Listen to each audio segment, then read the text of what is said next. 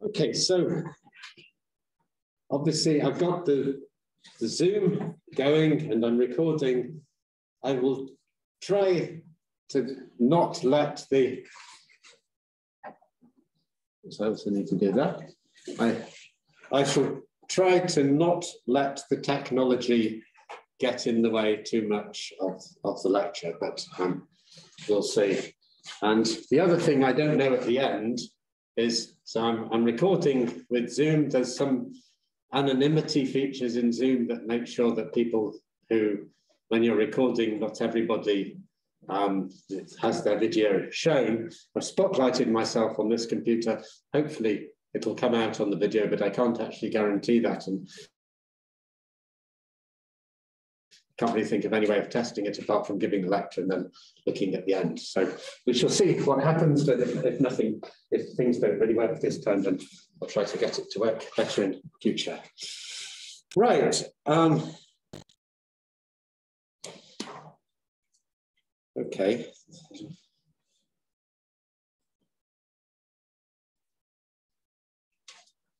Okay. Uh, so this is lecture two of the course, and last week we did uh, the axioms.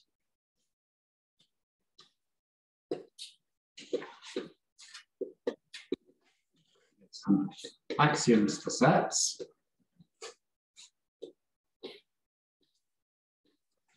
And this week we're going to do um, something that's going to be particular to this week. It's not really going to contribute to the main part of the development of the course, but it's an important thing to go through if we're looking at set theory, um, which is how the axioms we've got for sets allow us to essentially do mathematics using sets. And this is the sense in which set theory is, is a foundation for mathematics. So today we're going to show that these axioms for sets, well, we're not going to show it because to show it would be to do the whole of mathematics using these axioms, but I want to give you some ideas why these axioms for sets, then it's just a few axioms, they are sufficient to axiomatize mathematics as a whole. This is the way in which we get set theory as a foundation for mathematics. So, so this week, um, set theory as a foundation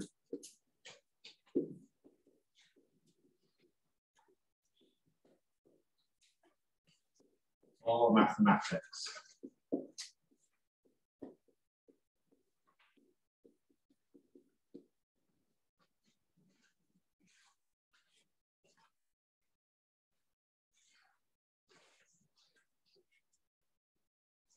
The point is that we just have these few, very few, there were just a handful of axioms from last week.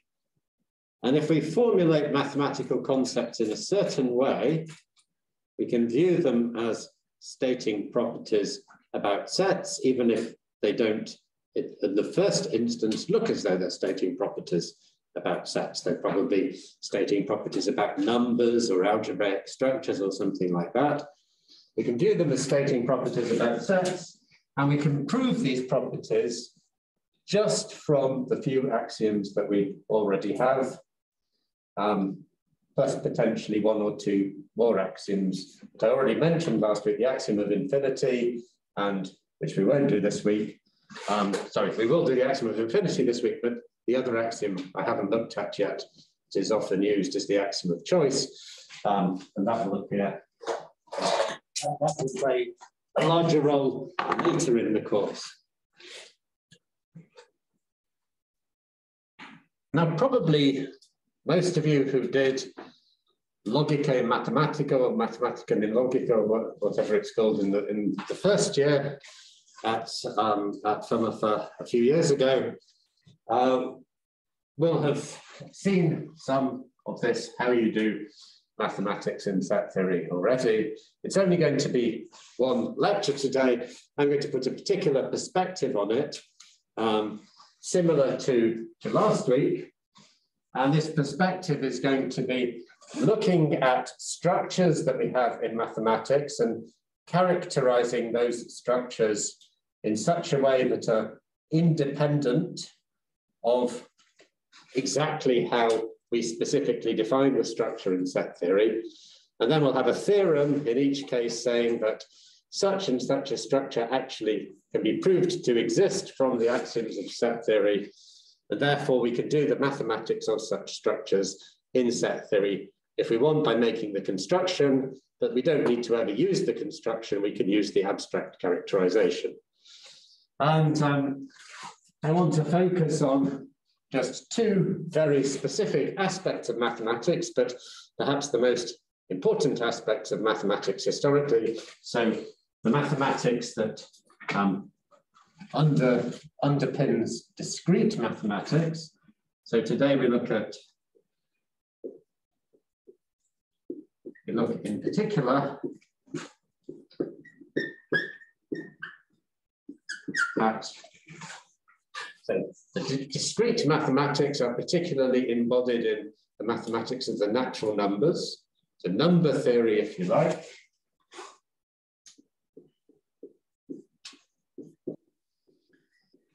Numbers. And then the main structures we need for them for continuous mathematics. And of course, the most important structure there is the real numbers. Some people might say the complex numbers are more important, but if um, if one define, can define the real numbers, one can define the complex numbers from the real numbers, and of course vice versa as well. So look at the natural numbers and the real numbers.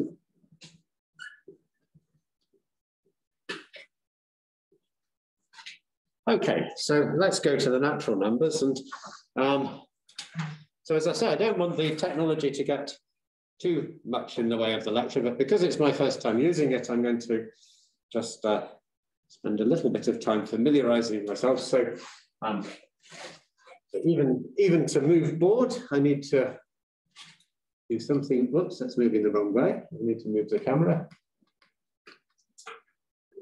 As I get used to it, I guess this will become more seamless.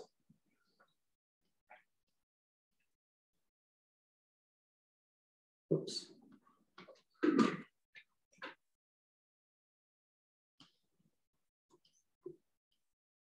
Right. Okay, so first thing I want to do is show you that using our axioms for set theory, in what sense we can do the mathematics of the natural numbers. This may sound like a simple thing, but actually it turns out to be rather complicated in, in some ways. So I don't know to what extent you did it in Logica Mathematica. Today I will go through all the definitions, but not through all the proofs, because if one did all the proofs, it would actually take more time than a three-hour lecture could could incorporate. And um, I also want to talk about the real numbers today. So I'll go through all the definitions. The main one is firstly to say we want to work in our universe of mathematical entities that we've used to, we've, we've got this universe of mathematical entities that contains within it sets. It may contain numbers as, in, as, as independent things not defined in terms of set, or it may not. In any case, irrespective of what's in the universe, what we would like to do is understand the structure of the natural numbers somehow independently of any one realization of it. So we don't, we don't need to say this exact, this construction is the number zero, this construction is the number one. Rather, the natural numbers are a collection, countable collection of, of things with a zero, a one, and the natural numbers have the property that you basically obtain them by having a zero and having a successor operator that acts on the zero, and the natural numbers are everything you can get by iteratively applying the successor operation to the zero. So using the language we already have, then we could formulate quite a natural definition. So, so what I'm going to call a natural number structure, this is my own terminology, but similar things occur in many places. A natural number, number structure is triple of things. So it's going to be a collection of natural numbers together with a zero, a distinguished element called zero, and a successor operation that acts on the natural numbers, where the collection, well, ultimately we're going to want a set of natural numbers But last week, we were starting off with the idea we have a mathematical universe and collections of things are prima facie, that's in the first instance, classes. But then we had some axioms that give us rules for saying when certain nice, well-behaved classes count as sets. Our collection of natural numbers is certainly going to be a collection of things, so it's certainly going to be a class, Let's for the moment just leave it as a class. We're not going to require it to be a set yet, we will come to requiring that later. It's interesting to see how far we can go by not requiring the natural numbers to form a set. So n is going to be a class. Zero is simply some distinguished, some chosen element of this class. And S is a class function. So S is a function from the class to itself that give it a natural number and it will give you the successor natural number.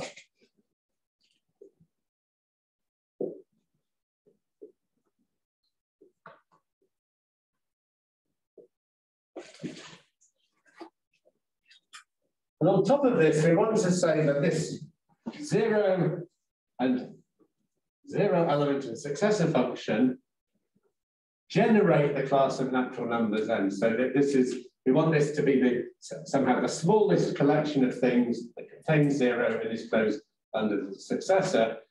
Moreover, we also want properties like if we take zero and we apply the successor to it arbitrarily many times, we never go round in a cycle and get back to some, if we keep on adding one, we always get a new different natural number from one we had before. So at the moment, this is just a class together with an, any element and some function on it, and that could be arbitrarily badly behaved. So we need some additional properties.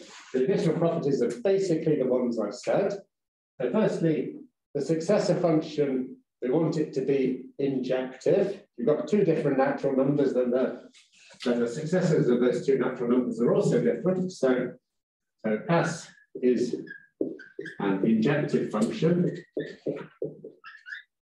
So, so this would be such that S dot T dot, so S is an injective function,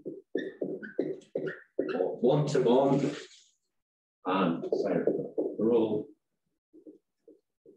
n in the class, and for all n and m in the class,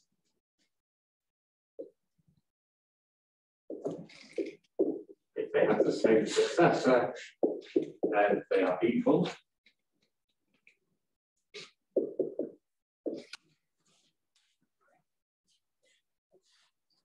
So of the things injective, we're going to require S to be, I'm going to call it acyclic, might call it characteristic zero. Um, going to say we can't, if we iterate S a finite number of times, we never get we never get back to zero. Um, well, actually, if we ever apply S to anything, we never get to zero. So S is what I call acyclic. Um, by that I mean, so for all elements of our natural number structure, if we apply S to n, then we don't get zero. So successors are never zero. Thirdly, the, the most important property of all is the one that's saying that's going to say, moreover, the natural numbers don't have anything in them apart from zero and elements that we get by generating zero. And we can formulate that by giving it as an inductive property, an induction property that this structure satisfies. So, so lastly, induction, the induction principle, which is so what we want to say essentially is that the natural numbers are the smallest class that contains zero and a closed under successor. So since we've got this class n that contains zero and closed under successor, what we, we can ask that any subclass of n that contains zero and closed, well, if we have a subclass of n that is contained zero and closed under successor, then it is the whole of n. Or in fact, if you have any class that contains this zero and is closed under successor, then n is contained in that class. So that's the way I'm going to formulate it. All these property principles are equivalent, but so I'm going to say um, for any class X, if zero belongs to X and X is closed under successor, so and for all Now, we can only apply successors to class function from n to n, so we can only apply successor to, to an element of this supposed natural numbers, natural number class.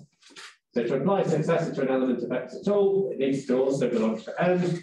So, we, so we'll ask for, for any x that belongs to n if x belongs to x then um, actually, yeah, I'll just put it as an implication.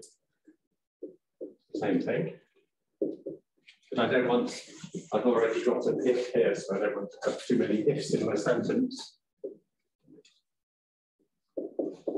So this is saying x, the class x contains zero and is closed under successor, if the class X is closed under um, closed zero, contains zero and is closed under successor, then well, the natural numbers should be the smallest such class. Yes, sorry. Oh, no, sorry. I was just wondering if uh, you wanted to write n there, but now I see. it. So. Yes, I do. Yes. But uh, so if this and this, then this. But I, I agree the indentation is not perfect. Python would probably not like it. Um, well, okay, but uh, I'm just saying the indentation is also not perfect. And so, you know, the programming language Python is very fussy about indentation. Um, so then, what do I want to say? N is a subclass of X.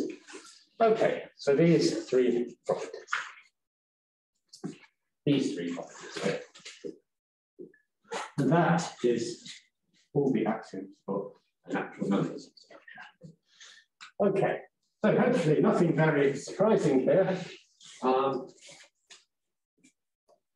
the only thing that's a bit more general than what's usually done is that uh, I'm allowing the class of natural numbers, the collection of natural numbers to be a class. So let me just, okay.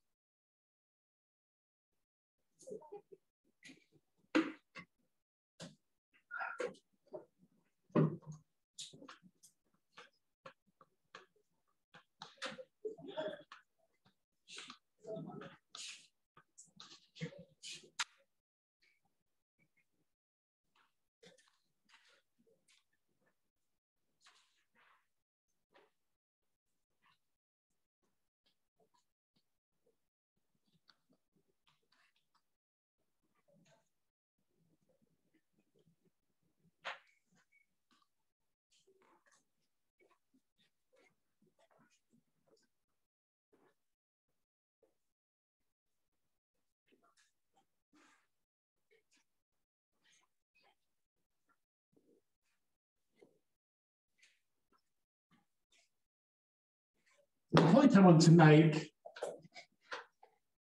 is that this notion of natural number structure essentially allows us to do all, all the mathematics we want to do or, or has ever been done about the natural numbers. So the whole of number theory follows from this definition.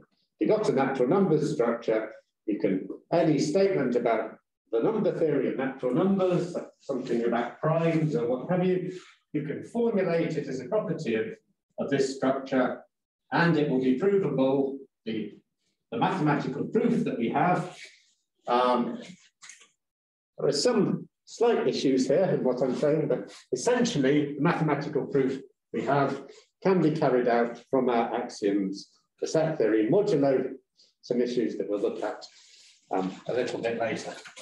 A very simple definition, and it's actually very powerful.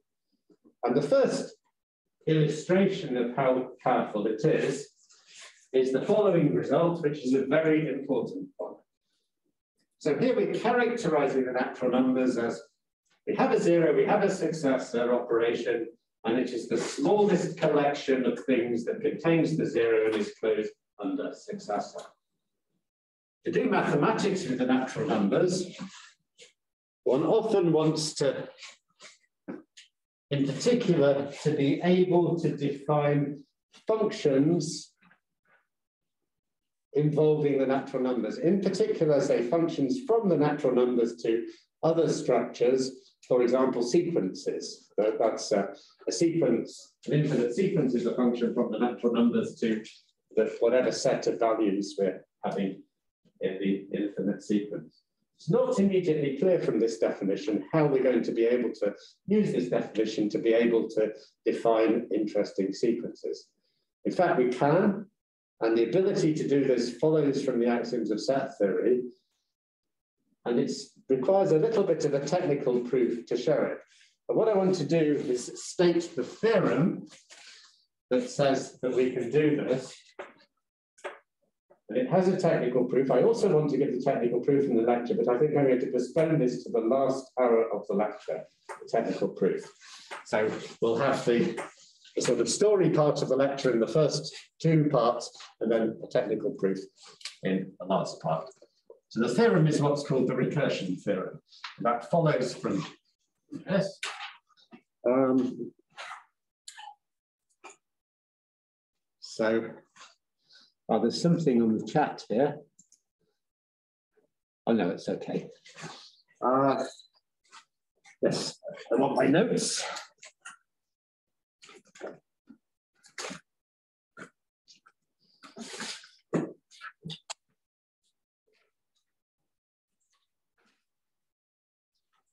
recursion theorem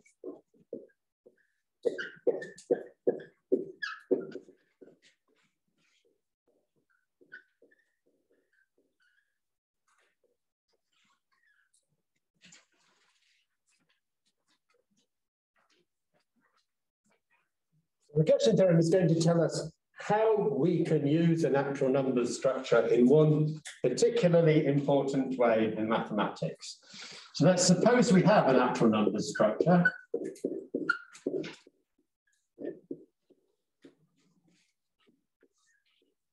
I might have reversed the order of things, but never mind.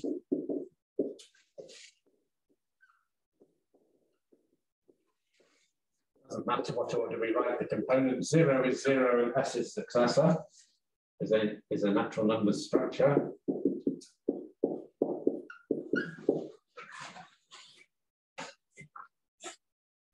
So the point is, if we've got such a thing, we can use it to index a sequence as long as we're given some data that will define a sequence, an infinite sequence by a recursive rule.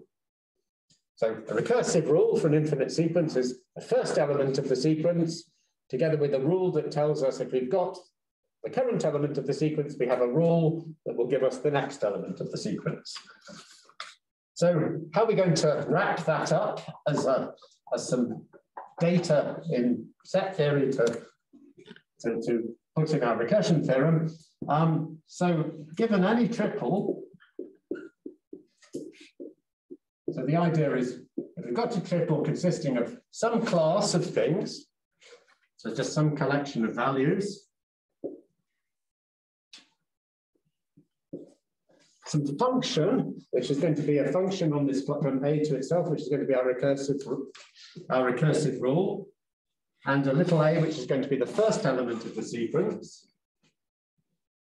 So this, so given this data where A is a class,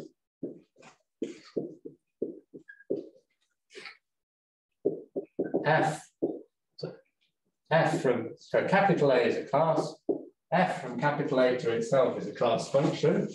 So it's just a function on the class A, an endo function from the class to itself. It's a class function. Well, I'll just say function, but it's a function between classes. Um, and A is a little is an element of the class capital A. And the point is there is going to be a sequence indexed by the natural numbers that starts at little a and whose second, so that's the zero indexed element, and the first, the one indexed element is going to be f of little a, and the two indexed element is going to be f of f of little a, and the nth indexed element is going to be f iterated n times applied to little a. So what having these indices means is there exists a function from the natural numbers to a that defines that sequence. So we're going to say, given this data, there exists a class function, but actually this data doesn't just give us some sequence, it gives us a unique sequence. There's a unique sequence with that specifying information. So, so there's going to be, there exists a unique class function. So again, I won't say class, but it's a unique function. I'm going to call it R. It's recursively defined in a sense. The recursion theorem is we are recursively defining a function from n to a such that, so s dot t dot such that um, r of zero is little a, the starting element. So this is our sequence. R, R applied to zero, R applied to one, R applied to two. That's our sequence that we want to define. So R of zero is little a. And for all natural number indices of elements in the sequence, R applied to the successor of n. So the next element of the sequence is always got by applying f to the current element of the sequence.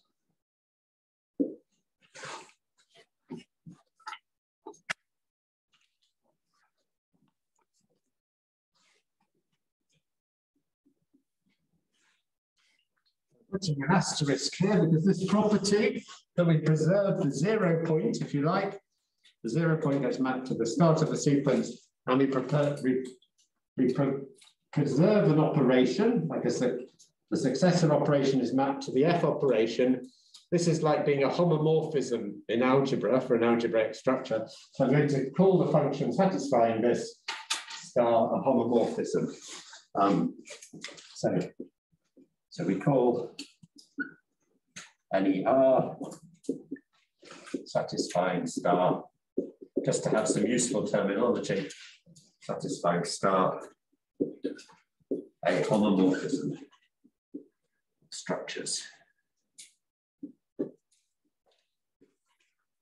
other words, given this data that's recursively defining a sequence, there's a there is a unique homomorphism from the natural number structure to this data, to, to the thing defining the sequence. Um, right.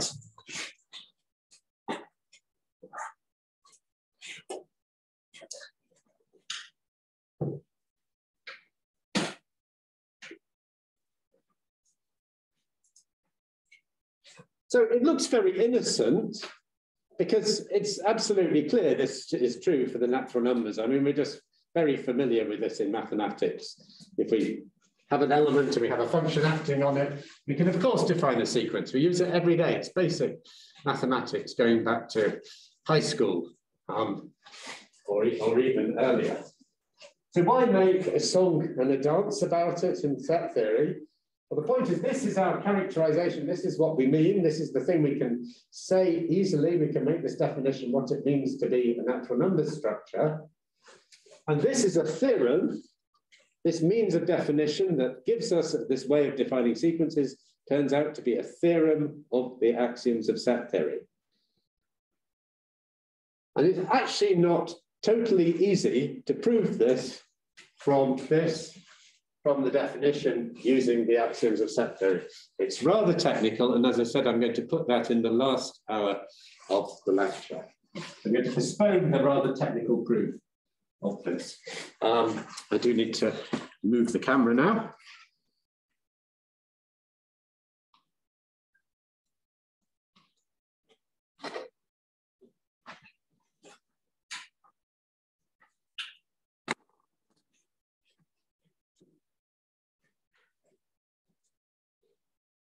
Just out of interest, I know first year of um, Dodiplomsky study was a long time ago, but maybe some of you can remember.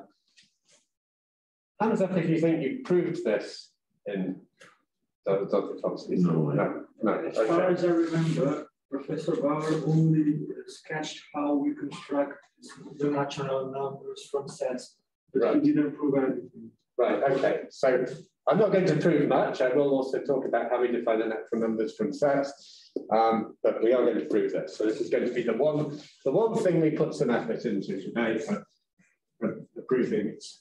Um, in a sense, it's really nice that set theory is a foundation for mathematics that one can use these axioms for set theory to define mathematical structures and to prove properties of them.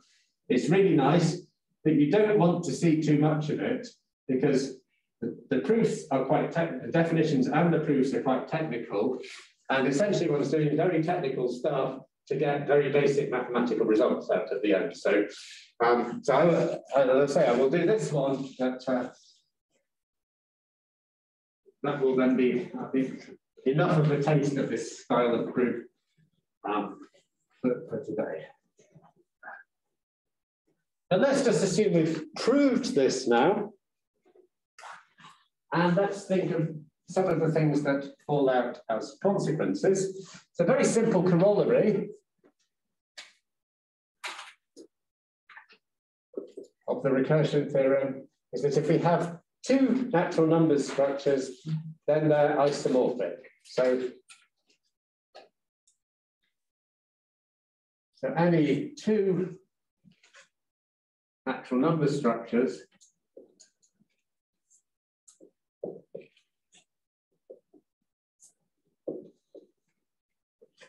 So let's call them n zero with it. So n with zero and successor, and n prime with zero prime and successor prime.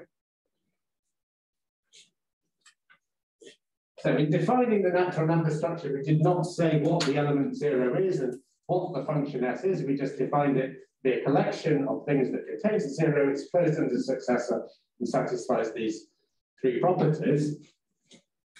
But it now falls out immediately from this theorem. If you've got two of these, then they are isomorphic. So we really are characterizing the natural numbers up to isomorphism. Why does this fall out immediately? Well, hopefully some of you can see it. I'm not going to ask you, but indeed, so in other words, we can see that from this theorem, well, if we have one natural number structure and another natural number structure, let's make this n prime, this s prime, and this zero prime, then the unique homomorphism we get from the one structure with n to the other structure with n prime, that's one direction of the isomorphism. And the other direction of the isomorphism, well, they're both natural number structures, so we can apply the same theorem to n prime, but a recursion theorem also to n prime. That gives us the um, that gives us the homomorphism in the other direction. So indeed, if Um, so if i from n to n prime and i prime from n prime to n are the unique homomorphisms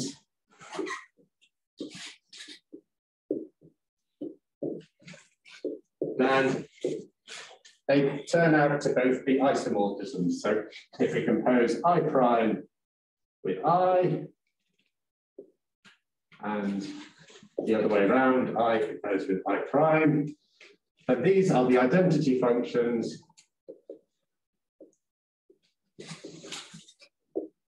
on whichever way around as you say i goes back. So this one's on n, this, this goes from n to itself, and this goes from n prime to itself.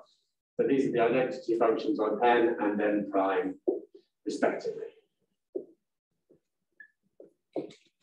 Why are they the identity functions? Well, i and i prime are both homomorphisms. So the composite of two homomorphisms, but by the definition of homomorphism, is easily itself a homomorphism. So this composite is a homomorphism from the natural numbers to itself, but there's a unique such homomorphism by the uniqueness property in the recursion theorem. And since the identity function is clearly such a is clearly a homomorphism from the natural numbers to itself, this is the identity. So it's a really short proof, which I've just summarized in words. I'm not going to write it down. Um, and we see that any two natural numbers structures are isomorphic. Um, I just want to carry on a little bit more uh, before, before the first break. So that's one corollary. Another whole range of corollaries of this defining functions by recursion is that we can use these, this recursion theorem to define the usual operations that arithmetic operations, for example, that we have on the natural numbers. So obviously the natural numbers would not be very useful if we couldn't define addition and multiplication and exponentiation and all these kinds of standard arithmetic operations. So we're going to see that those are definable from this theorem, but in fact, they're going to be definable from a slight generalization of the theorem. We're going to have the parameterized, parameterized recursion theorem. The parameterized says recursion theorem is the same thing, except that it allows us to define the sequence parametrically in some more information given by another parameter variable. So here we're defining a, a function in one variable. Suppose we have another, suppose we want to define a, a function in two variables where the other variable we think of as a parameter. So we're going to give ourselves a class for the parameters. So given a class Z, and the triple, again, with we want to define, again, elements of a set, sorry, of a class, using a recursive rule and some starting data. The starting data is now going to be given by a function because it's going to be given par parametrically in, um, in the parameter z. So we need to just change this. F is, so A is again a class. F is now a function that works. It's a, it's a, a function from A to A parametrically in the first argument Z. So it's a function of two variables. The first one's a parameter, so we can think of it as a family of functions from A to A, parameterized by the argument Z. That's the underlining here. The sense of potential is potentially a class. And the starting data is now not just a single element of, the, of A, but we're going to get an element, a starting element for each parameter value Z. So our starting data is a B that is a function that gives a, given a parameter value, will give us the starting value in A. And then we ask for there to exist a unique function. Well, the theorem tells us there exists a unique function z times. Um, oh, sorry for I forgot to move the camera.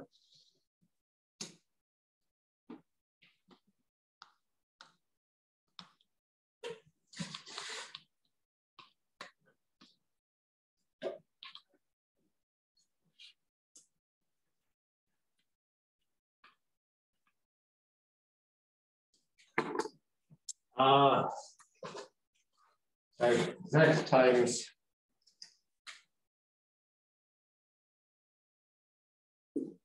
this goes from, from the natural number. So we get a recursively defined function from the natural numbers to A. So it's a, it's a family of sequence parametrically in the Z such that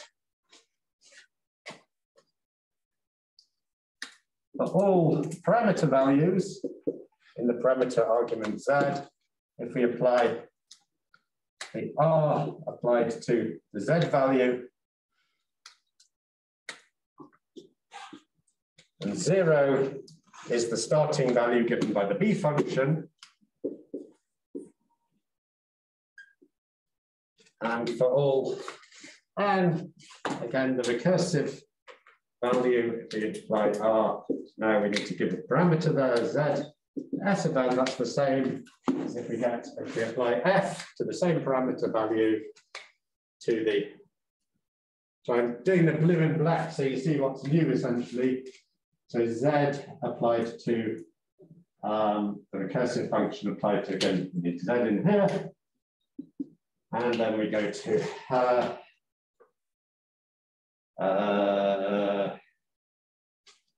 And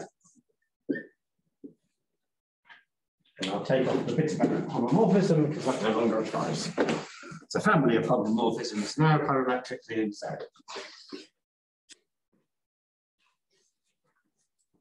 So why did I want to do that? Well,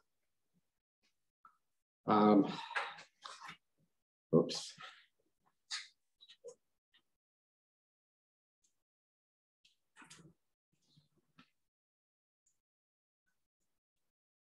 okay.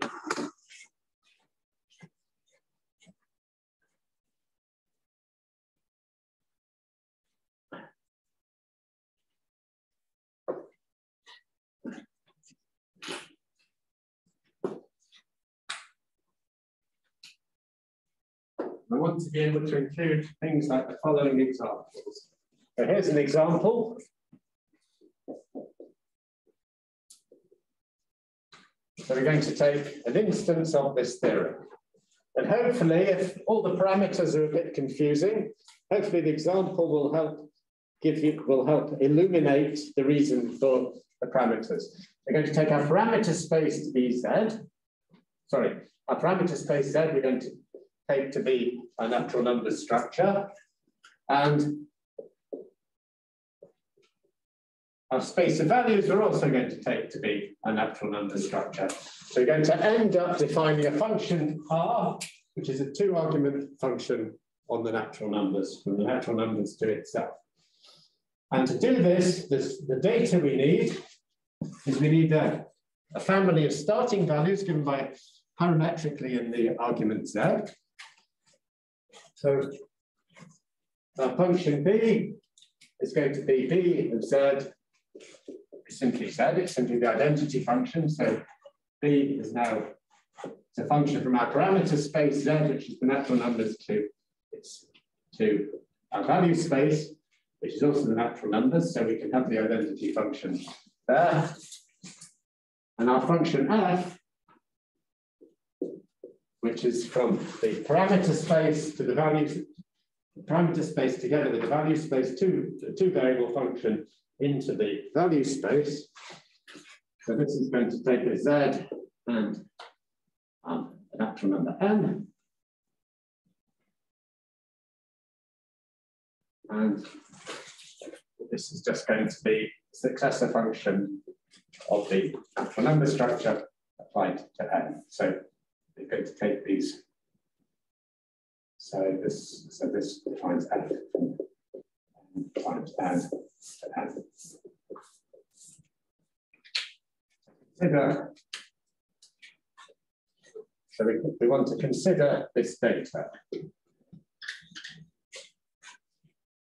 Given this data, we apply the parameterized recursion theorem to it, and it gives us a unique function R in the from parameter space times the natural numbers to the value space, all of which from the natural numbers to the natural numbers to the natural numbers to itself, satisfying these two properties.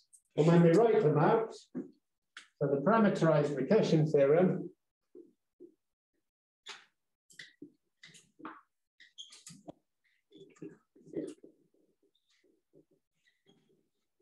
gives us a unique function R from the natural numbers times the natural numbers to itself such that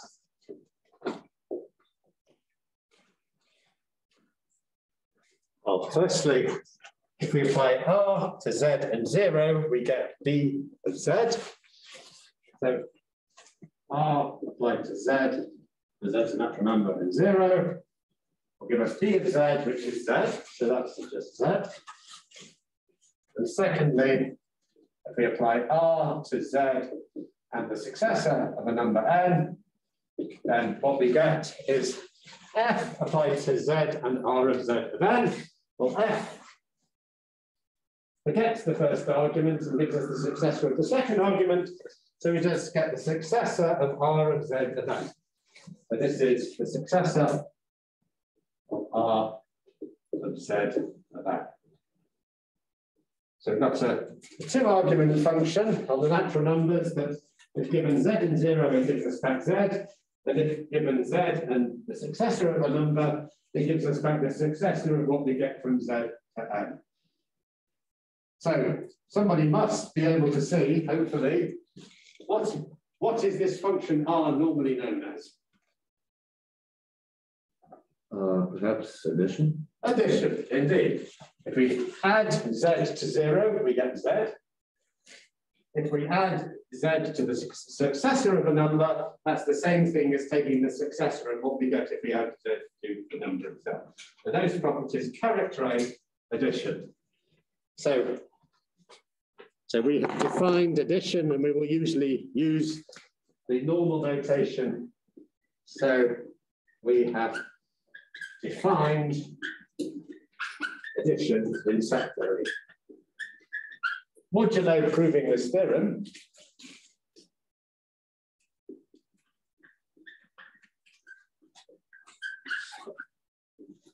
And of course, henceforth, we will know that if we have a natural number structure, we can define addition on it. And rather than using R, which is generic for any function defined by recursion, I will of course refer to addition as plus and write it in the usual way. Once you have addition, it's not hard to change the recipe a little bit and define multiplication. Once you've defined multiplication, again, you can change the recipe a little bit and define exponentiation. So we actually have now quite of powerful tool for building more complicated functions. I shall leave it at addition. It's eight minutes past. Um, is it okay with you? I'm sorry about the slight delays at the beginning setting up the technology. Uh, hopefully it's working. Is it okay with you to have a break until 20 past? Um, so that's 12 minutes break. Okay, good. So we'll break until 20 past. Uh, so break until 20 past. That's for Zoom.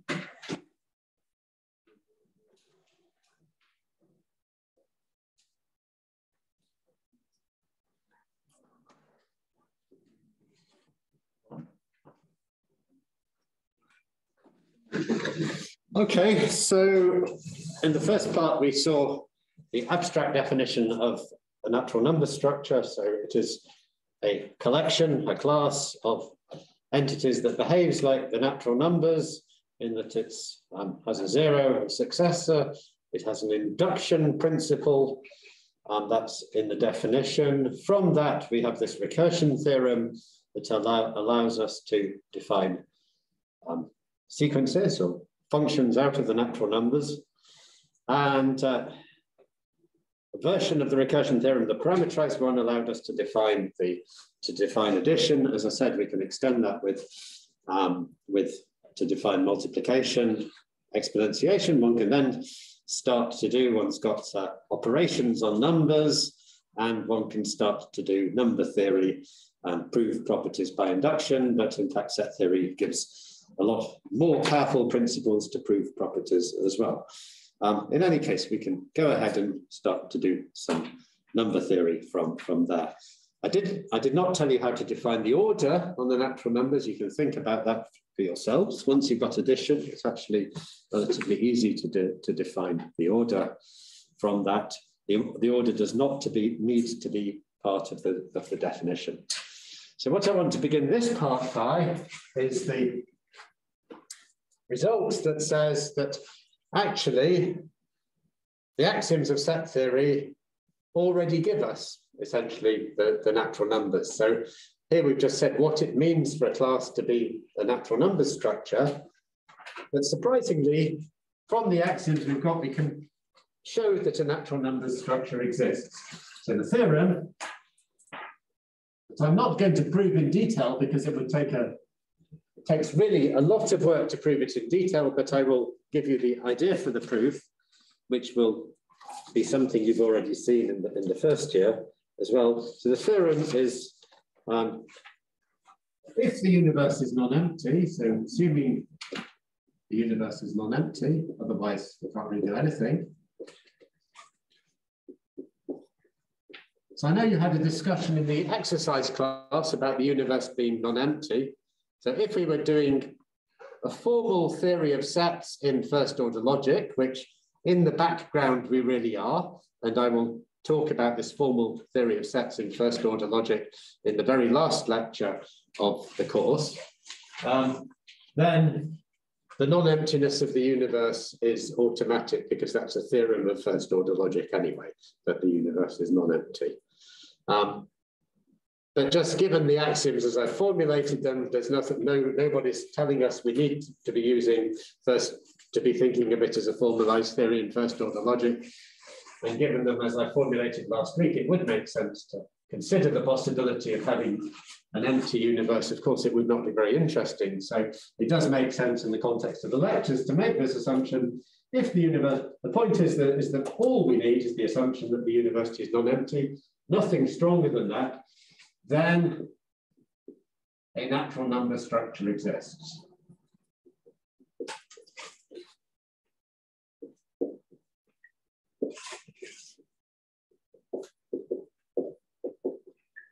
Quite surprising.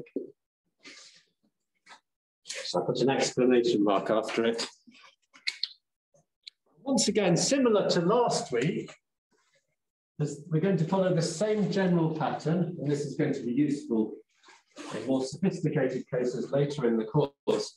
So the general pattern is we have an abstract definition of what a structure, what properties we need a structure to, uh, to possess, in order to play the role we want for it, so in our case, the role of being of acting like the natural numbers, um, any two such structures are isomorphic, but to show that one exists, we need to construct a particular one um, by using specific definitions of the specific set theoretic definitions of the structure. Once we've done that, we never need to, again, we never need to refer to those specific definitions again. The, the role of them is merely to show that our axioms are enough to prove that such a structure exists. And so the idea here is we define a concrete, a particular choice of natural number structure. I'll just write NNS, dot the natural number structure, by choosing particular sets as representatives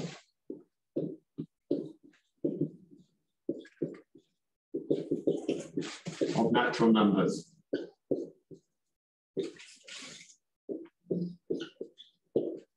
once we've chosen the, so we choose a particular representative for zero, a particular representative for one, a particular representative for two. So, so essentially we're choosing a particular representative for zero and a particular representation of the successor function. And once we've done that, we, we merely then say the collection of the sets we get in that way, that's our natural number structure. Um, so then the class of such representatives is class of such representatives is our natural number structure. But it requires quite a substantial proof, which as I've already told you, I'm not going to do to make it work. So,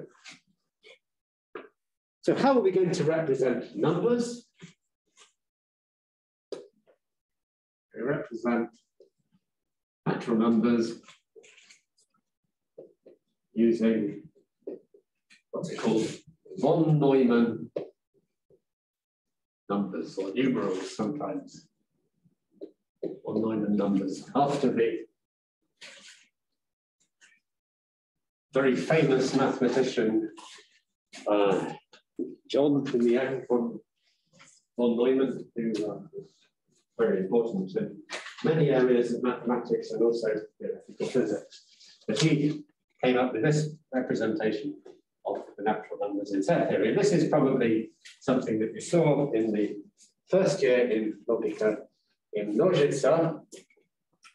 So we choose a representative for zero and then representatives for all the other natural numbers. And um, the representative of zero, well, I forgot to change the camera. I did. Thank you very much. Yes. Uh, it's going to take some getting used to. Um, sorry about that, both to the person who is on Zoom and also to the video. Uh, oh, come on. No, it's going the wrong way.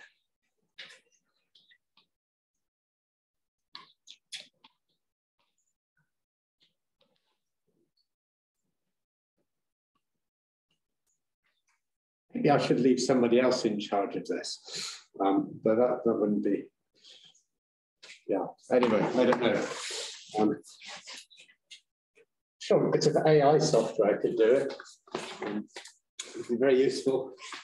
Anyway, so zero is going to be represented as, well, now I'm going to go back over to this board, but I'm, I'm not going to move the camera. The universe is not empty.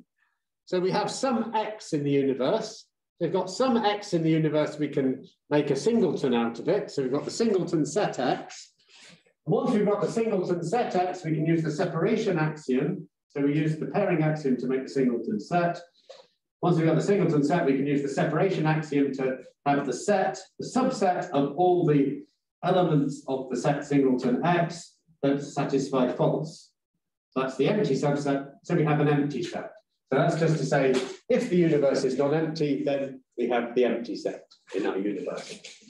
So we always, as long as the universe is non-empty, we have the empty set. That's an if and only if, of course. So we can say, it's natural to say that zero is the empty set. And then von Neumann's construction was to then say, well, one is going to be the set that's not empty, but its only element is the empty set. Two is the set that contains, again, it contains the empty set, but it also contains one. And in general, every number is going to be the set of all numbers strictly smaller than it. So three is going to be, so everything's smaller. So, so we're going to have zero, we're going to have one, and we're going to have two, so that's the set to zero. Well, I've already got fed up with writing them.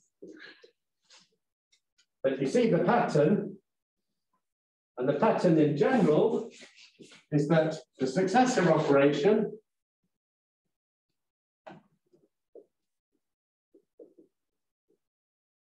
is x maps to the set we get by taking the union of x with the singleton set that contains X. I'm going to use a notation for that. X superscript plus. And this operation can be defined, so this makes sense. So X plus makes sense whenever X is a set of sets. So a set, all of whose elements are themselves sets. So this, so this kind of equals should be the other way around.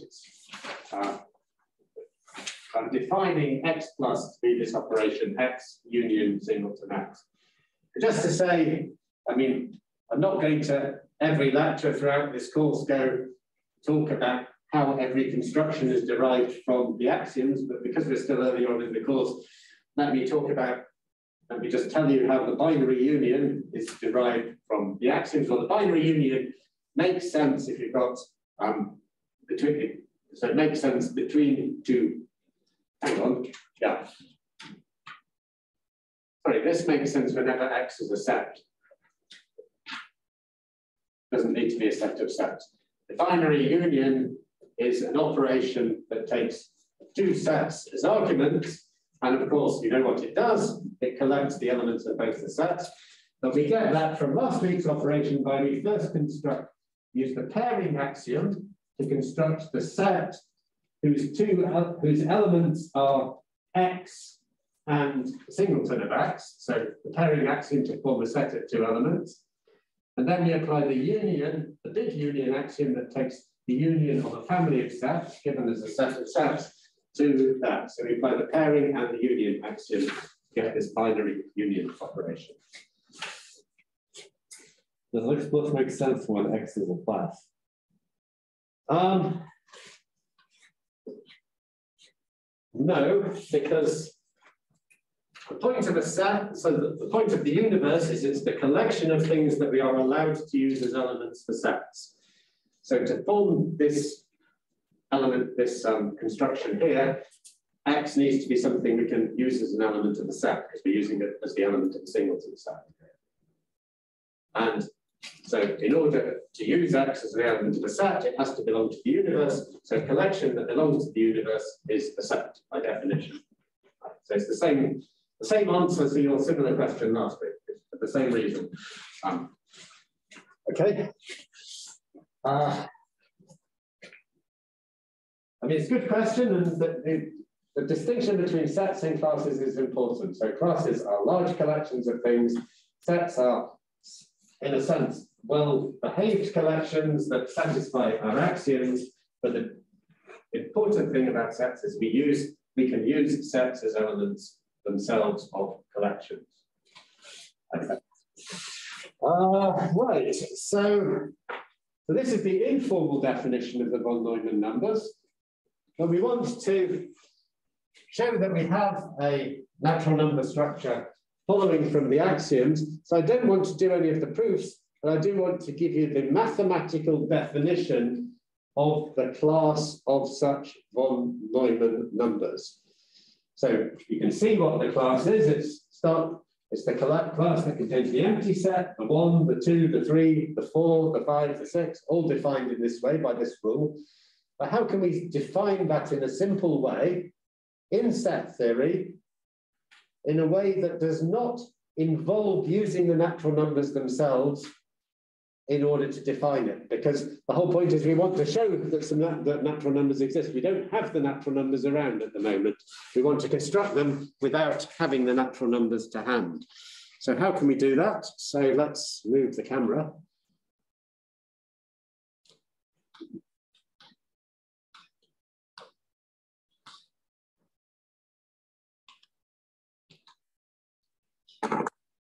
Um,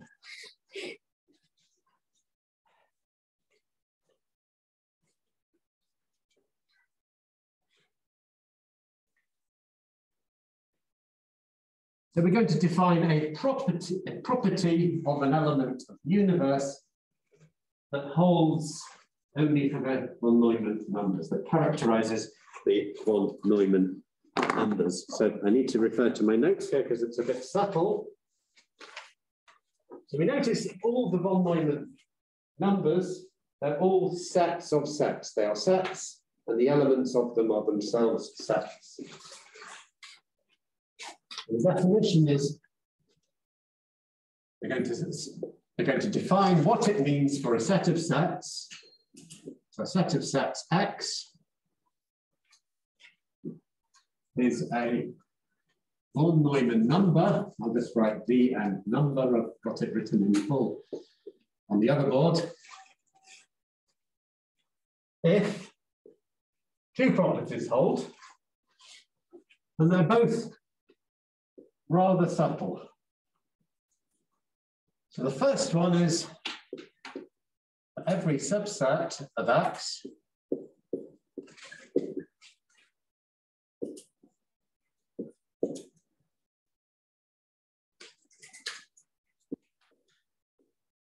every subset of, of, of X satisfying two properties, there's going to be a sort of induction property. We're going to formulate a kind of induction property that if you have a von Neumann number and it contains zero, and it's uh, and you've got a subset of it that contains zero and is closed under successor as long as you stay in the number itself, then that's the whole of the number.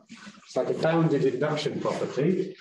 So to formulate that, we say that if any subset Y that satisfies the property that the empty set is contained in Y as long as it's contained in X. So of course, the empty set need not be contained in, in X because the, the um, X might be empty. As long as the empty set belongs to X, it belongs to Y. And as long as we have any element belonging to Y whose successor belongs to X, the successor also belongs to Y. So, and so for all, as long as we have any element of y whose successor belongs to z, so belongs to x, then the successor belongs to y. So y is closed under zero and successor as long as we stay inside the set x that we want to be a von Neumann number. So for every subset satisfying this kind of bounded induction property, it holds that that subset is the whole of X. Okay, as it should be, because if we put zero in, as long as zero belongs to X, and we've put the successor of everything in whenever that successor belongs to X. Secondly, was wait, uh, just said for every subset y under. Yeah, yeah, sorry. Um, very good. Yeah, that would not be much of a conclusion. Yeah, so y has to then equal the whole of x. Um, secondly, either x is zero or it's a successor. So all there exists is that in x, and it's not just a successor, it's the successor of one of its elements. So remember the von Neumann numbers well, they're all, each number is the set of all numbers strictly less than it. So if it's not zero, then there's a largest number strictly less than it, and it should be the successor of that number. So it's kind of clear that both these properties hold of the von Neumann numbers, but the point is that's interesting is that they characterize exactly the von Neumann numbers. And that requires quite a lot of proof. And as I've already told you, I'm not going to do that. Um,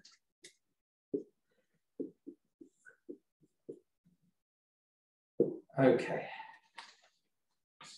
And then that's the property that characterize, characterizes if an element of our universe is a von Neumann number. So it has to be a set of sets and it has to satisfy one and two. And then we define, I'm sorry, um, or maybe I'll put it on the other board.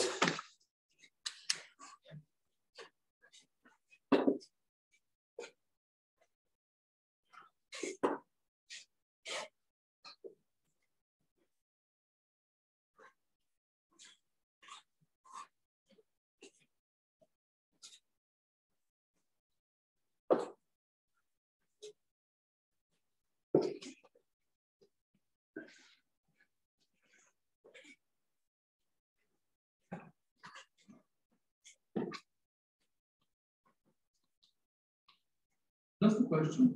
Yes, please. Can you just elaborate on the second point? What does that mean? There, there exists a z next, the next z plus O. Okay, very good. Um, well, so the, I'm, I'm sorry, I'm not going to move the camera again, but um, the, there's a question which is to elaborate on the second point on, that was on the board that I, I was just showing, which says that um, the x that is a von Neumann number must be empty or it must be the successor of some element of it. Um, well, hopefully it's clearly true that a natural number is either empty or it's a, sorry, it's either zero or it's a successor. So it's basically saying the num a number is either a zero or a successor. If we don't, and to be a successor, well, we've got a collection of sets and we want those sets to be the numbers strictly smaller than the one we're looking at. So if it's a successor, and if it really is a von Neumann number, there should be an element of the set, which is the largest number that's, that's strictly smaller than it. There should be an element of the set itself, that's the Z, such that X is the successor of that Z. So that's why it's true of a von Neumann number. If we did not put this property in, then the definition we've got would also include the set of all natural numbers itself. That also satisfies property one here. And that is not a natural number. The set of all natural numbers, it would be like an infinite number. In fact, it's going to be the ordinal omega later on in the course, that, that, that set. So if we did not put the second property, we would have other things that satisfy one, other sets that satisfy one that are not natural numbers? Okay, good question. Um, so what I wanted to say is that we're going to just define a class of von Neumann numbers, which is uh, defined to be a class of all x's, such that x is a set of sets and x is a von Neumann number as defined on the, on the board. And the theorem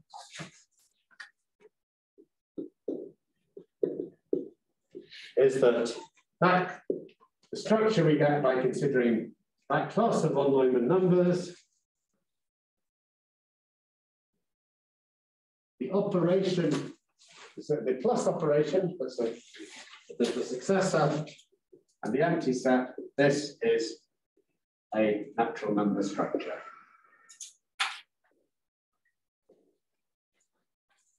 The proof is very technical, and I'm going to leave it at, at, this. I've given you the construction, but I'm not going to give you the technical proof. It involves basically manipulating with these von Neumann sets. It's, it's, it's fiddly. It's quite actually interesting. It's a bit like playing with, with Lego in some ways. You're sort of making these constructions using building blocks and you have to, well, I don't know. Anyway, you have to see that the definitions all work out.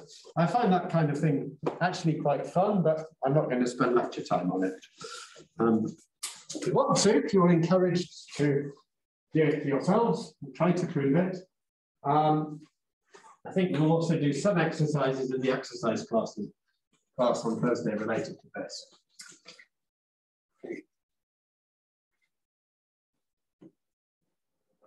So we've got quite a long way so far, only with the axiom that the universe is non-empty. Well, the axioms from last week and the axioms that the universe is non-empty. There's one other thing we really want. There's more than the than the existence of a natural number structure. Concerned, concerning the natural numbers, can anyone think what's missing? Well, so we can define, so we want it to be ordered. We want the order relation to have good properties. We can define that and prove it from the fact that it's a natural number structure. Okay, there's, there's some, there's going to be an axiom called the axiom of infinity which we haven't used so far. We've done all this, we've got the natural numbers, we've got a natural number structure as I've defined it without the axiom of infinity. What else can an axiom of infinity say? Can anyone think what, what we're missing? That there exists an infinite set. Right, so the axiom of infinity is going to say there exists an infinite set. What do you think will happen to our natural number structure if we have that axiom? That we don't have at the moment. It will be set. Then it will be a set, very good. So yeah, so that indeed, the point is that our natural numbers at the moment, we've found them, that, that we can define them as these von Neumann, as these, the collection of von Neumann sets, but we don't know that the collection of all the von Neumann sets itself forms a set. We can define the collection, it's a class, and we cannot prove that from the axioms so far. So this brings us to the axiom of infinity because there are many things we can do for sets that we can't do for classes. Like consider power sets of them, which is going to be very useful. Well, there is a kind of power class, but the power set of a set is a very important construction. So we're going to need the axiom of infinity. Have I uh,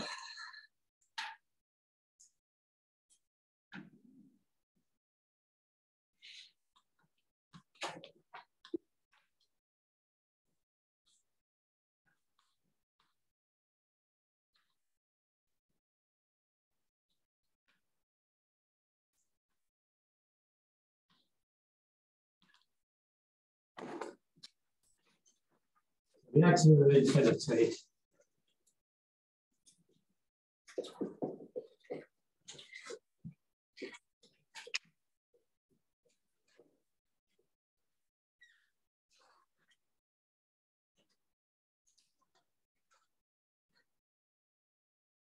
The axiom of infinity is indeed going to say exactly what you said, that there exists an infinite set.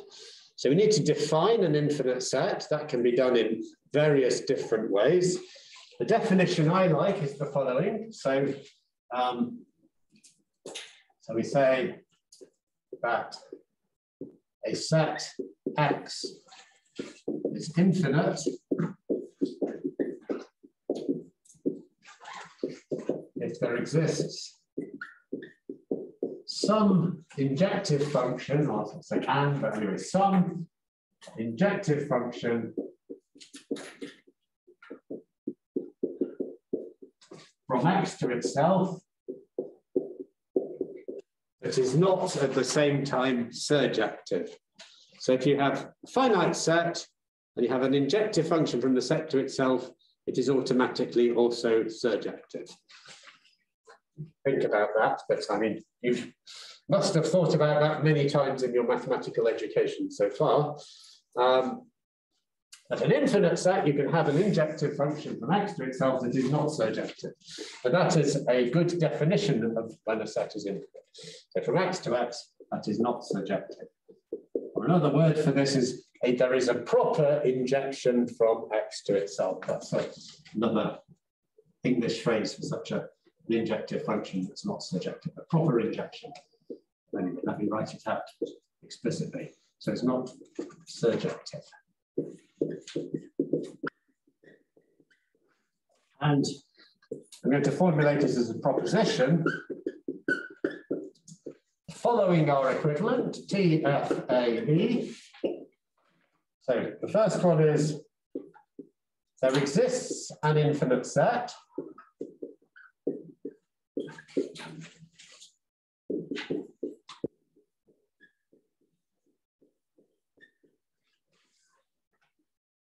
Second one is there exists a set, a set of sets I such that it contains the empty set and it's closed under the von Neumann successor operation. And for all x belonging to i, x plus also belongs into, i. So there exists a set containing the empty set closed under the von Neumann successor operation. Of course, this need not be the set of von Neumann numbers itself. It's going to contain them all, but it could be larger. It's just saying there's, there's some set that has those properties. If there exists some such set, there will be a smallest such one. And actually that smallest such set will be exactly the class Vn of von Neumann sets that we've got, the von Neumann numbers that we've got here. And it's actually equivalent to say that that is a set. So it's equivalent to say the class Vn is a set. And the fourth equivalent statement,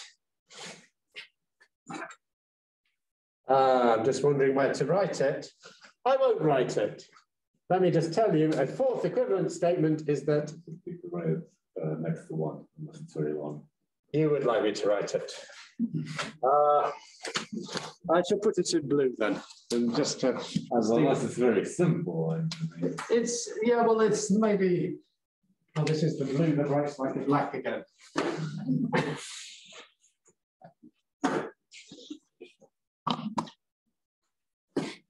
Haven't, haven't encountered that one today. That was uh, last week's lecture. Um, right. Moreover, so this is continuing from here. If n0s is any natural number structure, then also, also the next statement, and also, well, the next statement is belongs to the following R equivalent, so it's counted as one of the equivalent statements. And the next statement is, of course, that, so let's put an underline as it's prima facie class, and that n is a set. So any natural number structure, its underlying class will be a set. Okay, these are all equivalent statements, and the axiom of, the, of the axiom of infinity is any of, I mean, you can formulate it in any of the ways we've got here. Doesn't doesn't matter. So could be there exists an infinite set. That's a nice formulation. But that just says there is some infinite set. It's a bit wishy-washy in a sense. So all our other axioms were specific classes form sets. And if you want it in that form, then axiom three is the nice form. It's not really a nice form because the definition of the class Vn is quite complicated. But on the other hand, it is of this form, a specific class is a set.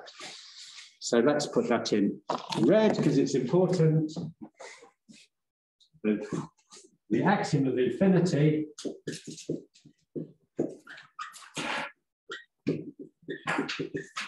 is any of statements one to four.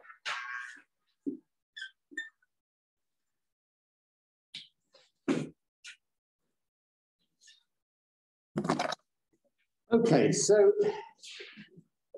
it's five to four, but we actually, since we started five minutes late, I'm going to go for another 10 minutes now, and then we'll have then we'll have a break, then we'll have a short break, and then the last part is going to be technical, and it will also be a shorter part than, than usual. I just want to go through the technical proof.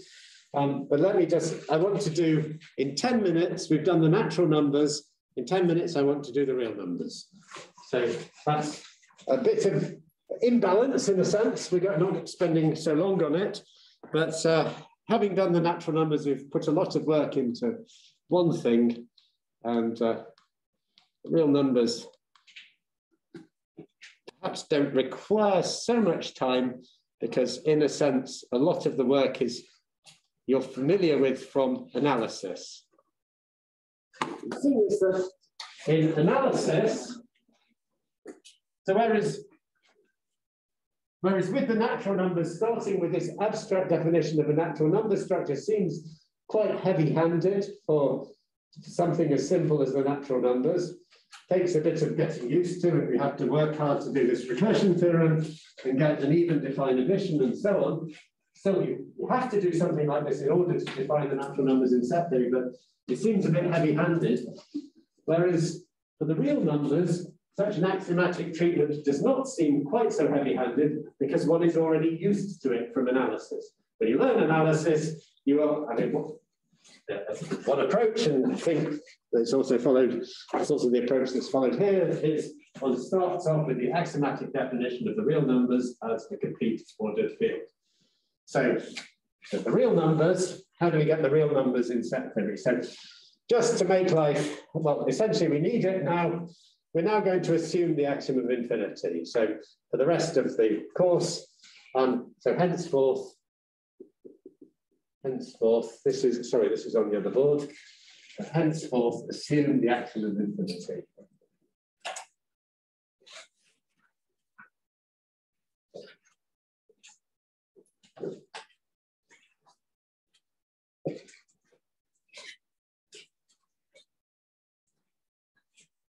Now we could define the real numbers as a class, but we've got the axiom of infinity. If we define them as a class, we're going to be able to prove they're a set. Let's just stop making life difficult for ourselves and let's just, to begin with, call them a set, just to, just to start living in the world of mathematics as it's done. Um, so, a real number structure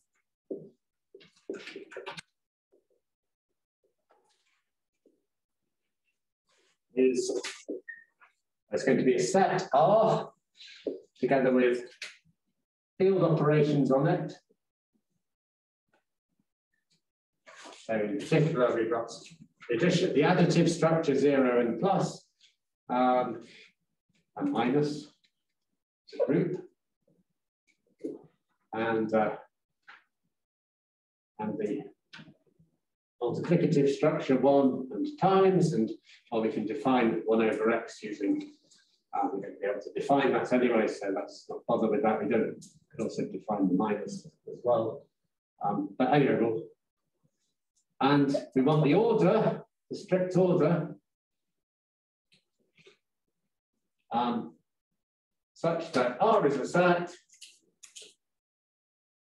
is a set and this structure gives the set R, it endows it with the structure of a complete ordered field, as defined in analysis.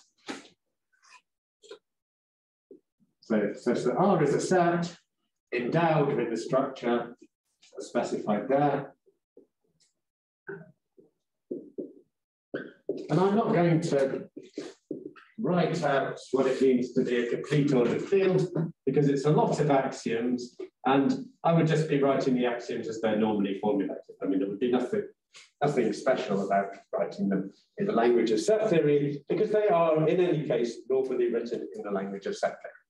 So endowed with a structure of a complete ordered field.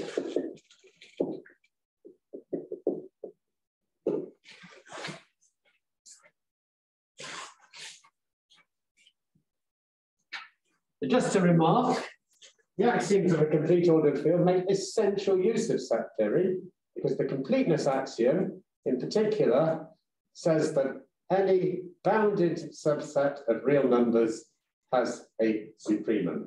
Any bounded inhabited, so non-empty subset of real numbers has a supremum. So one's crucially using the fact we've got a set of numbers and the notion of an arbitrary subset of real numbers in order to formulate that axiom. So we make heavy use of, of essential use of set theory in the notion of the structure of a complete ordered field. Um, and in set theory, we can prove, we can prove from our axioms, and this is the usual proof that one does in analysis,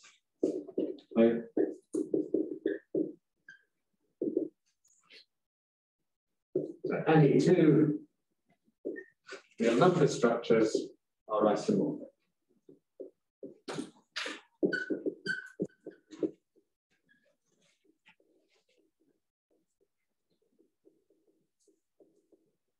And here an isomorphism will be a field homomorphism in each direct, order preserving field homomorphisms in each direction.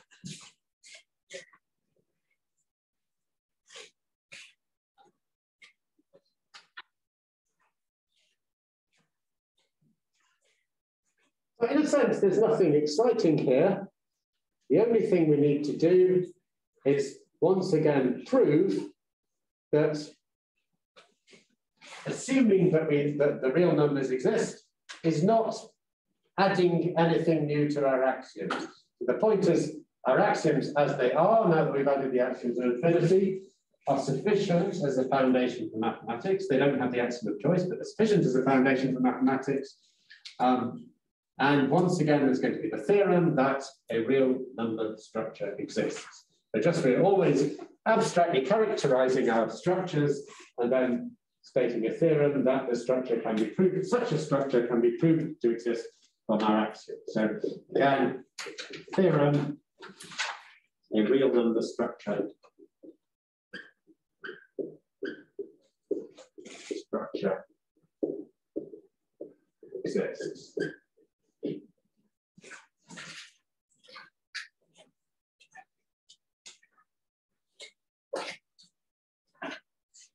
And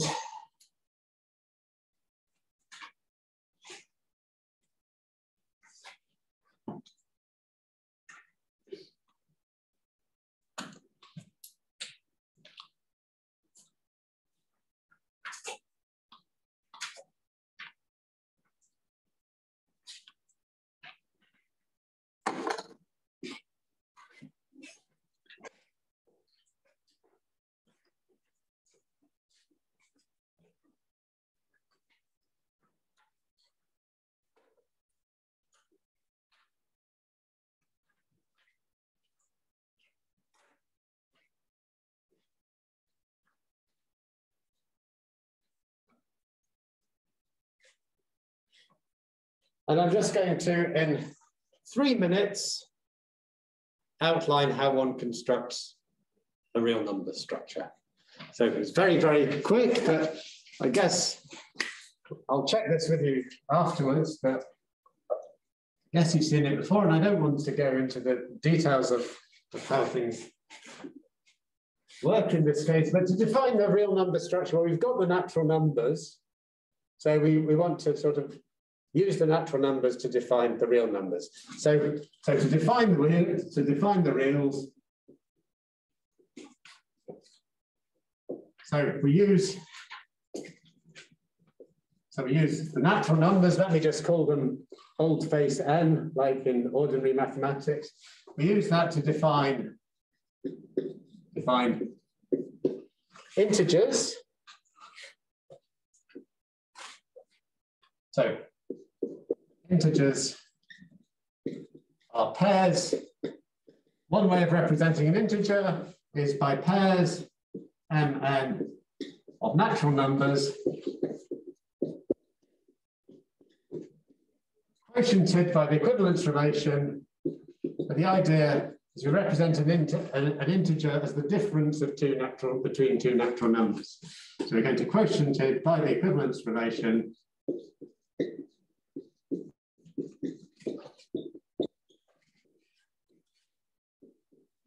and then equivalent to n prime. n prime, if the difference between m and n as an integer is the same as the difference between n prime and n prime as an integer, so that's if and only if we can formulate that using natural numbers, using only addition, that's if and only if n plus n prime equals n prime plus n. Okay. So an integer, we can form a set of integers as a set of equivalence classes of pairs of natural numbers. And then it's easy to define all the usual operations on integers. Um, and then we use Z to define a set of rational numbers Q.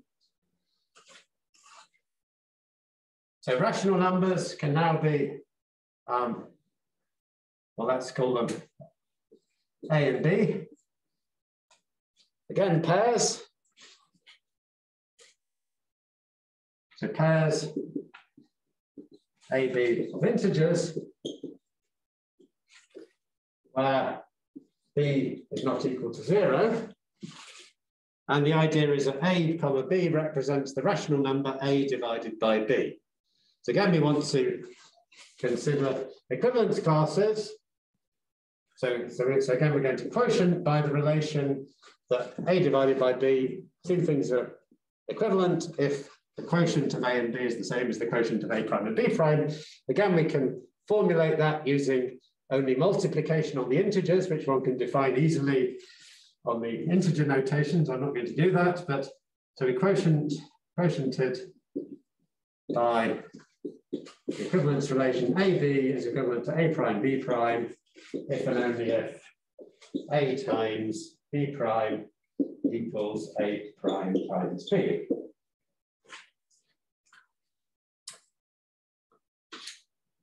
Finally, and one can, with the integers, one can define the total order on the integers. With the rationals, one can define the total order on the rationals.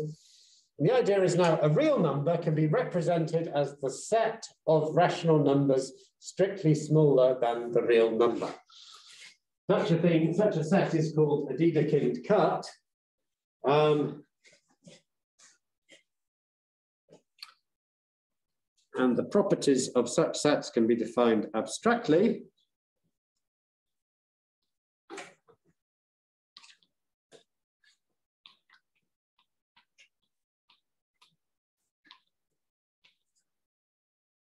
Right.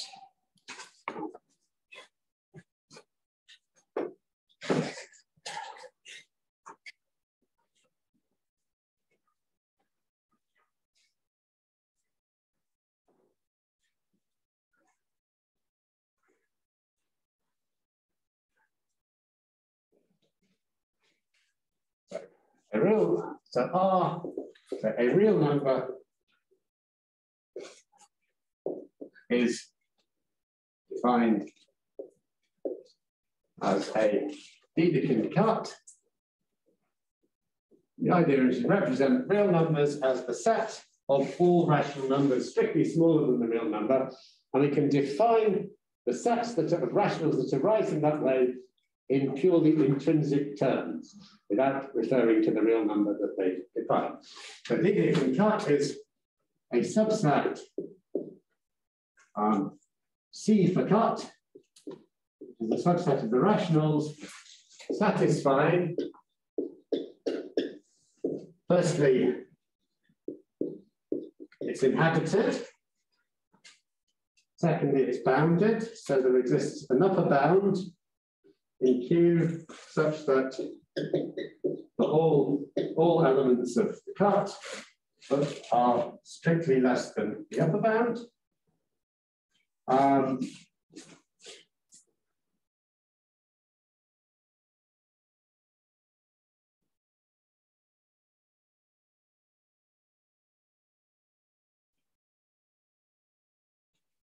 And thirdly, it is down closed. So if you have an element in the set, then any smaller element is in the set. So, so for all Q belonging to the cut, then for all Q prime belonging to rationals, if Q prime is strictly less than Q, then Q prime is itself, itself belongs to the cut. And those are the only properties you need, I believe. If I've missed one, you can point that out to me in the break, which we're now going to have. The point is these definitions allow us to define all the operations, the order on it. And then once we've got this, we can show that this, this construction of the reals, we can define, it's quite complicated, addition and multiplication. It's quite complicated to prove that they work. That is, we can define the order relation on the reals. That's easy. That's just the subset relation on, on, on, on Dedekind cuts. And with a lot of work, one can prove that this really is a, a, a complete ordered field. So we have a real number structure and we're done. Um, okay, so oh, it's 10 past by, well, 11 minutes past by my watch. So what I propose is we have a 10 minute break now. The last part is purely going to be technical. It's going to be the proof of this recursion theorem. Anyone that feels they've had enough for today, I'm perfectly, oh, sorry, let me pause the video before I don't want to. Yes, you're right. I thought I'd forgotten something, but then I couldn't think, so I didn't have notes for this. So, so somebody has pointed out that I forgot the condition for the Dedekind cut. So indeed, it really is important that for all Q in C, there exists a Q prime um, greater than Q such that Q prime belongs to C as well. So it's really, it's really important that the Dedekind cut doesn't have a largest element because we want it to be the set of rationals strictly smaller than a number. And if it had the largest element, that they would not enjoy that property. Thank you very much. Right.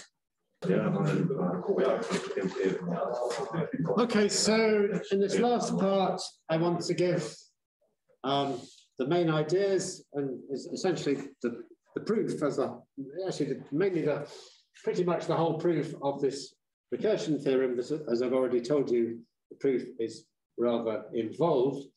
Essentially, the idea is we, we've characterized, I, I've written up the recursion theorem again. I haven't rewritten the definition of natural number structure, but we've characterized the natural number structure as a structure with a zero, a successor, and this induction property. And we want to use that characterization to show that if we've got this data is class A with a with a, starting element for our sequence and a function acting on it that's the recursive rule for our sequence. If we've got that data, we can, that the, from the natural number structure, we can define, using the axioms of set theory, a unique class function that actually defines the sequence indexed by our natural number structure. Right, so I'm going to I'm not going to write this part out again, but I'm going to assume that we've got all this data. So we've got the natural number structure. We've got a particular class A, a particular element of the class little a, and a particular function that's our recursive rule for the sequence we want to define. And I'm going to then prove the theorem. And we want to prove that there exists a unique homomorphism R from our natural number structure to our structure with the class A and the element little a and the function little f. And to do this, we're going to build up the required homomorphism, which is defined on the whole of the natural numbers, by considering approximations to the, to the final function. So the approximation is just going to be defined on an initial segment of the natural numbers. And all those approximations, well, if we take the limit of them, all of them together define the, the, the whole class function. So we're going to look at the notion of a partial homomorphism. I'm going to build the required homomorphism capital R out of partial homomorphisms. So partial homomorphism is going to be a function. I'm giving a definition here of a concept that's going to be important in the proof. It's a function into A from a subset, so actually a set, not a class, of the natural numbers, which is going to be an initial segment of the natural numbers. So where, um, so where x is a subset so we're not, so for this proof, we don't need the axiom of infinity. So we, we forget, we don't, we don't need to know that the natural numbers are, are, are a set. Um, but we we're going to look at subsets for our domain of the partial function. There's a subset of, of, um, of n satisfying point is it's going to be an initial segment. I want it to be non-empty. And I'm also going to require that it's closed under successor, so zero belongs to it. It's again, it's closed under successors that belong to the um, the subset X. So, so if if the successor of X belongs to, X, sorry, not the closed under successor, it's closed under predecessor. So if, if any successor element is an initial segment, so you've got any natural number that belongs to, whose successor belongs to x, then the natural number itself belongs to x.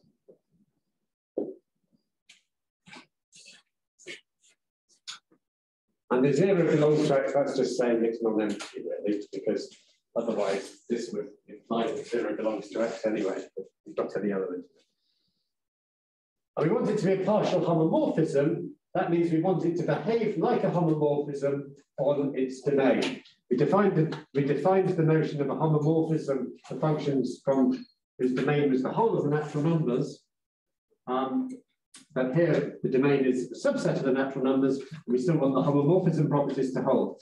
So, and function h satisfies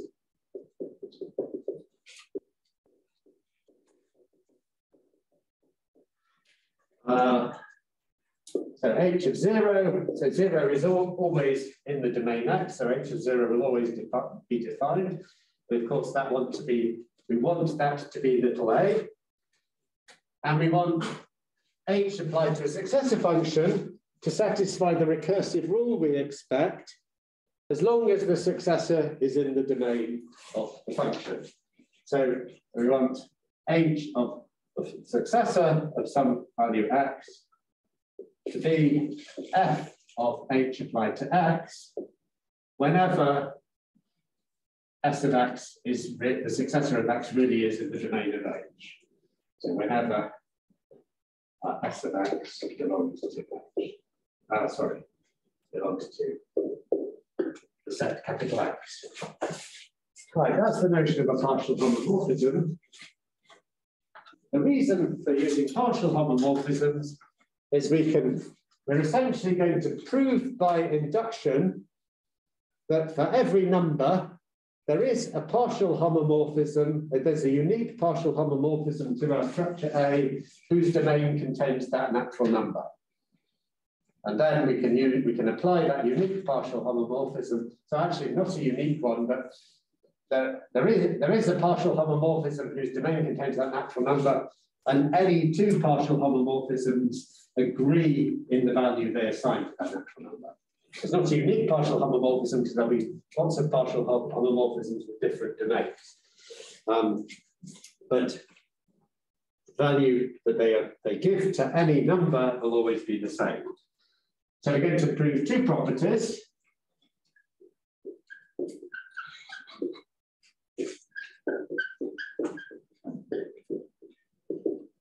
So the first one is if you've got two partial homomorphisms,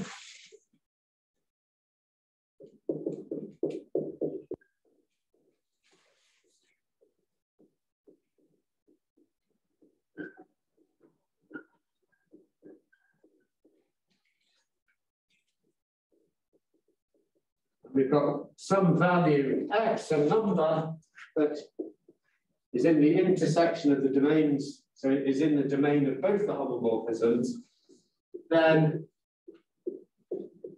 the two homomorphisms both agree in modeling the values they assign to x. The second property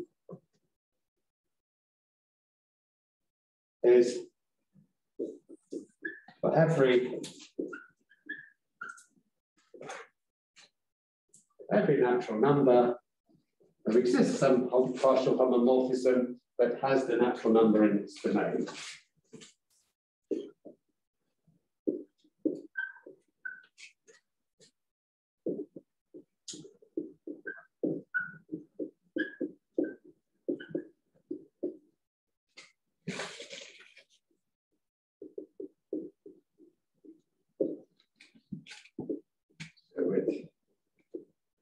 in the domain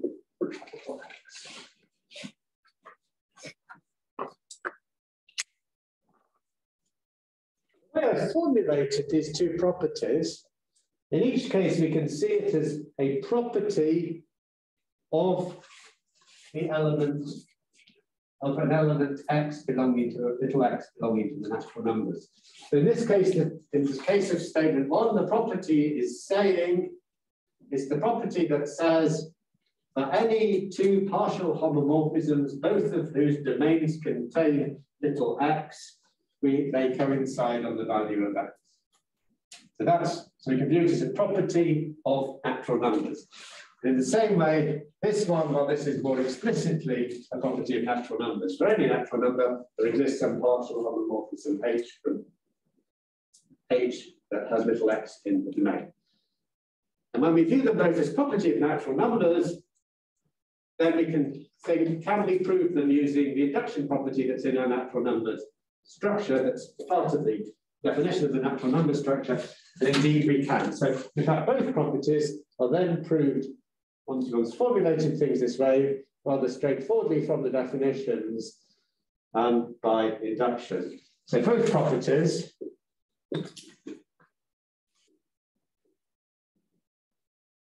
are proved using the induction property of a natural number structure by induction on the value of x. Induction on little x.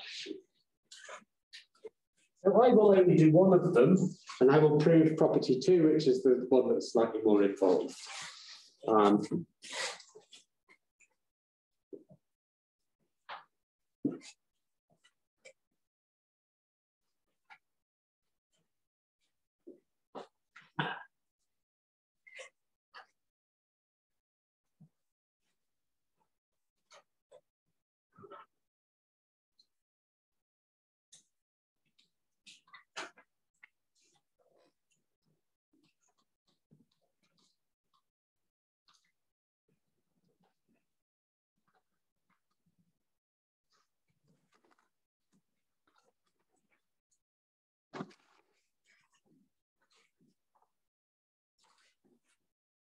proof of two.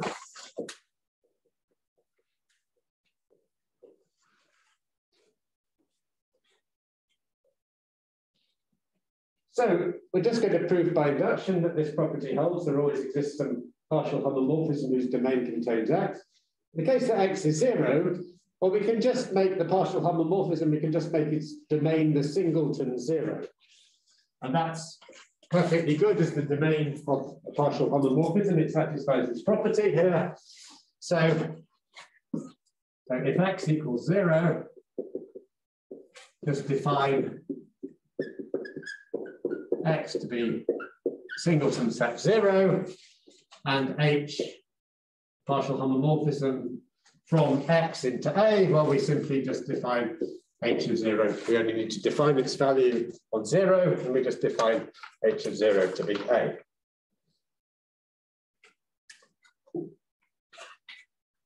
If x is greater than zero, well, our induction hypothesis, so the induction hypothesis, I, I dot H for induction hypothesis, is that have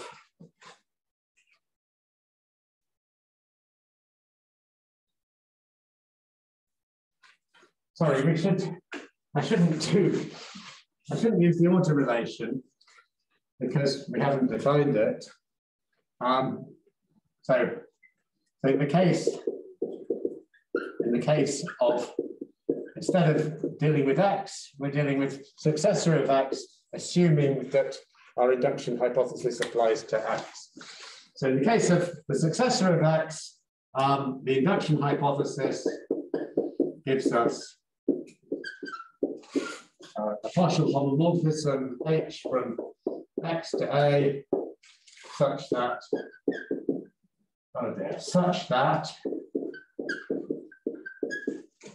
x belongs to the domain x of the partial function h. So we're now going to define a new partial function, a new partial homomorphism whose domain contains the successor of x. So we're going to first define its domain. So we define the domain to be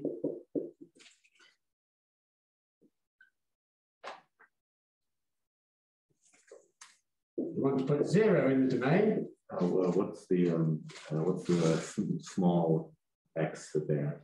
Um, where is that from? Right, so we're proving a property by induction on x, on little x. This is the case little x equals zero, and this is the case that we're proving the property for the successor of little x. And so little x is the predecessor of the successor of little x. Well, it's little x. Yes, but yeah, sorry, I mean, yeah, good question. Uh,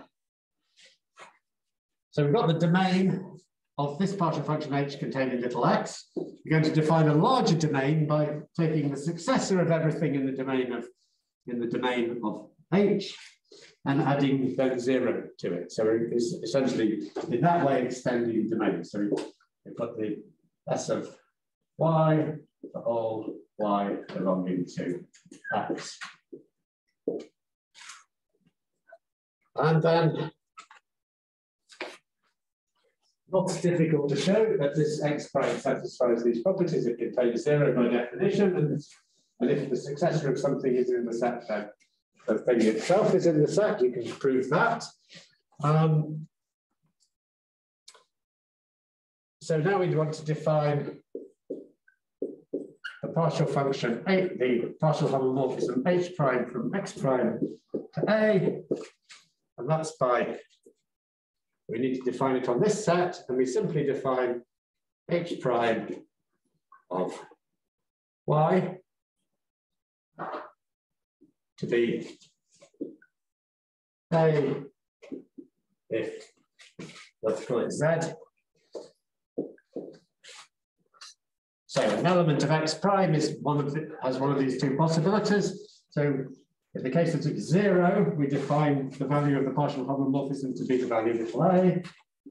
a uh, so if, if z equals zero, and if it's the successor of y, that's the other possibility, well then we know what h does to y, and we're applying to the successor of that, so we want to satisfy the homomorphism property. So we need to do return f of what h does on y. So if that's how we get a homomorphism. So if z equals s of y, the sum the sum of y belonging to x. So these are all the possibilities for elements of the set x prime. And that does the job. And so we'll go over to the other side of the board. Uh, no, wrong way.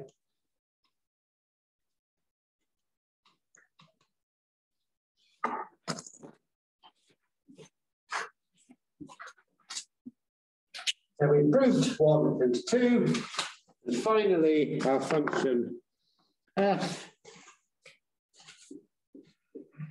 maps an x in the natural numbers to h of x or some homomorph partial homomorphism, some or any partial homomorphism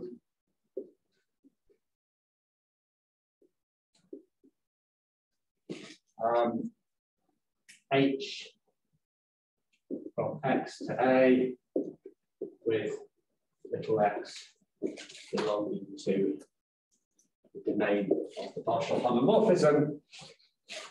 By property two, such a partial homomorphism exists. By property one, the value that this gives us is uniquely defined. And therefore, this gives us a well-defined function from the class, from the natural numbers class to A, and it's easy from the partial homomorphism property to then see that it satisfies the recursive, the homomorphism property, the recursive rule. Okay, so maybe that was a little bit fast. It was kind of just really to give you a taster of how this proof, how this style of proof works. From next week on, we're going to be going to the subject of cardinalities, and we're going to be sort of more, we'll be dealing with the axioms, but more dealing with set theory as we normally use it a little bit, and not being not so much fussing over the axioms anymore, having already dealt with that today. Okay, um, good. So thank you very much. I'm, i need to rush, I'm afraid, but if there are any questions, I'd be happy to. Yes, did we, did we prove the first one or? No, we didn't. Oh, No, so we proved both of them by induction, and I was, this one's actually slightly more involved. Yeah, but so I was giving you an illustration of how we prove by in, the in the case of the second property. Exercise proves the first property, um, if you want to.